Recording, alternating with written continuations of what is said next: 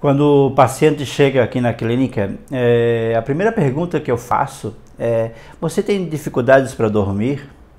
Aí, normalmente, né, quem sofre com ansiedade responde: Sim, Mário, eu tenho sono picado ou demoro muito para dormir.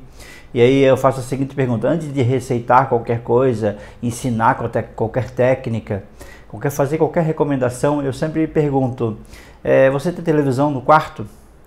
Você leva o celular para sua cama, você fica navegando na rede social por muito tempo e normalmente as respostas são né, positivas para essas perguntas. E, e, isso faz com que você deixe o seu cérebro acelerado, porque o nosso mundo né, digital ele acelera a nossa vida. É... Aí eu pergunto: você tem paciência para fazer uma leitura, levar um livro para sua cama? Ah, não, não tenho paciência para ler. Claro, a leitura, se você observar, ele, ela desacelera a sua mente, porque você precisa ir no ritmo da leitura para acompanhar a história daquele livro que você está lendo. E isso se torna algo chato para você, porque você acaba estando no momento presente, a gente chama né, de, de, de ancoragem do momento presente.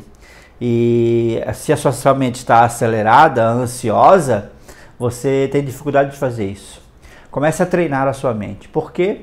Quando você dorme com a mente acelerada, você começa o teu, seu dia acelerado. E outra coisa, se você não dorme o suficiente, você não joga para fora do seu corpo as toxinas que são necessárias para você soltar.